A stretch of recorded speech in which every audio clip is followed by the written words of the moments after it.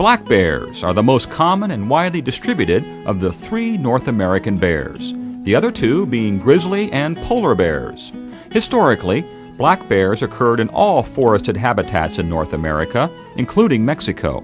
The species has been extirpated from many eastern and midwestern states, but still occurs in 38 states, 11 Canadian provinces, and 7 Mexican states. In Arizona, the black bear is found in most woodland habitats, including pinyon juniper, oak savanna, coniferous forest, and chaparral.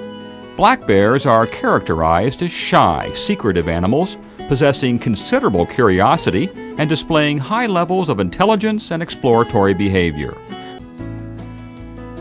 Black bears are normally solitary animals, except for mothers with cubs, breeding pairs, and congregations at feeding sites. Black bears are known to move as far as 100 miles to exploit isolated pockets of food. The mobility of black bears sometimes leads them to appear in uncharacteristic habitats. They have been known to return from long distances after being moved.